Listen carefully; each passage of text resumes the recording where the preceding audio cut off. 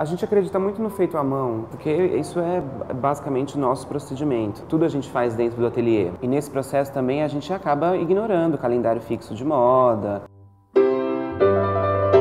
Foi muito natural chegar nessa resolução do slow fashion, porque o nosso procedimento sempre foi muito artesanal, nada mais adequado do que pensar uma produção com tiragem pequena, uma produção mais especial.